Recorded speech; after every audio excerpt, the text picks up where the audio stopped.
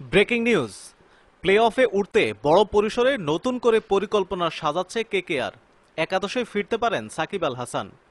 আইপিএলের এবারের আসরের শুরুটা ভালোই করেছিল সাকিব আল হাসানের দল কলকাতা নাইট রাইডার্স। কিন্তু প্রথম ম্যাচের পর একদম বাজে অবস্থার মধ্য দিয়ে যাচ্ছে কেকেআর। পরের ছয় ম্যাচের মধ্যে পাঁচটি ম্যাচে পরাজিত হয়েছে কলকাতা নাইট রাইডার্স। কেকেআরের এমন করুণ অবনতিতে তাই প্রশ্ন উঠেছে দলের ক্রিকেটারদের নিয়ে। প্রধান কোচ ব্র্যান্ডন ম্যাককুলামের কাছ থেকে স্বাধীনভাবে খেলার অনুমতি পেয়েছেন সকল ক্রিকেটাররা।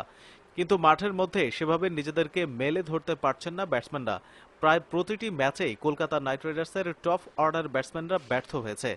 এবারের আসরে শুভমন গিল একশো বিশ এর নিচে স্ট্রাইক রেটে মাত্র একশো বত্রিশ রান করেছেন। নীতিশ রানা একটু ভালো করেছেন, দলের সর্বোচ্চ দুইশো এক রান তার। কিন্তু তার স্ট্রাইক রেটও মাত্র একশো বাইশ দশমিক পাঁচ ছয়। এই আইপিএলে মাত্র দুবার পাওয়ার প্লেতে পঞ্চাশ পেরিয়েছে কলকাতা। তাই দলের টপ অর্ডার ব্যাটসম্যানদের উপর হতাশা প্রকাশ করেছেন দলের প্রধান কোচ ব্র্যান্ডন ম্যাকুলাম সেই সাথে একাদশের বড় ধরনের পরিবর্তনের আভাস দিয়েছেন তিনি। ব্র্যান্ডন ম্যাকুলান বলেন, এটা খুবই হতাশাজনক। আমার ধারণা, একজন খেলোয়াড় হিসেবে সবাই স্বাধীনতা চায়। দল নির্বাচনের সময় আস্থা ও বিশ্বাস চায় যেন মাঠে গিয়ে খেলাটা ধরতে পারে, আগ্রাসী হতে পারে, দলের জন্য কিছু করতে পারে। আমি আর অধিনায়ক ইওয়ান মর্গান এমন খেলাটাই খেলোয়াড়দের কাছে চাইছি। কিন্তু দুঃখজনকভাবে আমরা সেটা করতে পারছি না। নিশ্চিতভাবে যতটা দরকার ততটা পাচ্ছি না। পুরো ক্যারিয়ারে একটা সময়, সব সময় বলেছি, যদি কোনো মানুষের মধ্যে পরিবর্তন আনতে না পারো, তাহলে মানুষটাকেই বদলে ফেলো। আমরা তাই কিছু পরিবর্তন আনতে পারি এবং নতুন কিছু মুখ আনব, যারা খেলাটাকে আরেকটু বেশি কিছু দিতে পারে। বারবার বলেছি, আমাদের আরও আক্রমণাত্মক হতে হবে এবং আরও বেশি আগ্রাসী হতে হবে, খেলাটাকে ধরতে হবে। কিন্তু আমরা সেটা করছিই না। তার মানে আমাদের কিছু বদল আনতেই হচ্ছে। এদিকে আইপিএলের এবারের আসরে ভালো করতে পারেননি অলরাউন্ডার সাকিব আল হাসান।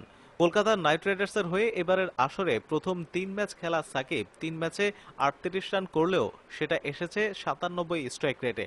তার বদলি হিসেবে খেলা সুনীল নারিন আরও ব্যর্থ। চার ম্যাচে করেছেন দশ রান।